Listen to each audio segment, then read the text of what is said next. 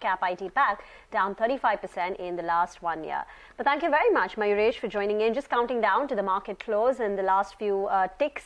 Uh, the Nifty is holding above 17,600 with a gain, but a very minor gain, just up close to about 0.1%. Turned out to be a bit choppy, started off quiet, then there was a rally. The Nifty went to levels of 17,700.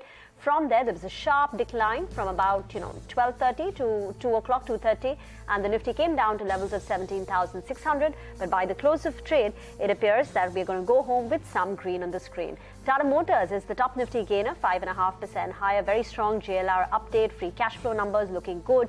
Goldman upgrades it, so that's been one of the big movers. But the other auto names like Hero MotoCorp, M&M giving it company on the way up. IT broadly had a good session led by Wipro up 2%, but others like TCS and Tech Mahindra also seeing a rally of more than a percent. ONGC was a big mover. Um, you know, ONGC was up close to about 4 odd percent. Other notable uh, gainers include Adani Enterprises, UPL, Adani Ports, Power Grid, L&T, all higher in trade. On the losing side, banks. Banks were the you know big sectoral underperformers today. The Nifty Bank down 250 points, 0.6% lower. So banks dragging uh, the overall market lower. But this comes on the back of six days of gains. So there was that bit of profit taking. Bajaj Finance, IndusInd Bank, ICICI Bank, Axis Bank, HDFC Bank, all trading lower. Add SBI to that list as well, which saw a sharp late uh, sell-off.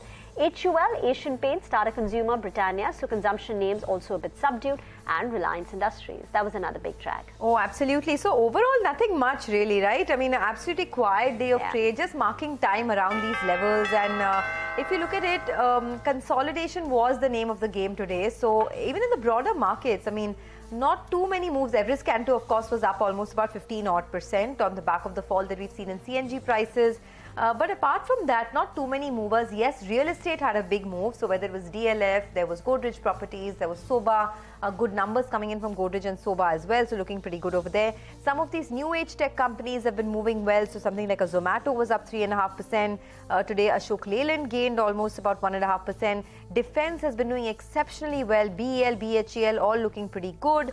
Uh, something like a Federal Bank as well inching up higher on uh, the on the downside, names like uh, you know Reliance Power, Nykaa was under a bit of pressure, and IDFC Bank as well, not looking too good. But let's wind down the day's trading action. It's a wrap on uh, NSE closing bell, but don't go anywhere. We have smart money coming up in just a bit, where I'll be taking you through innovation and investing, which is the big theme that we're expecting to see in 2023.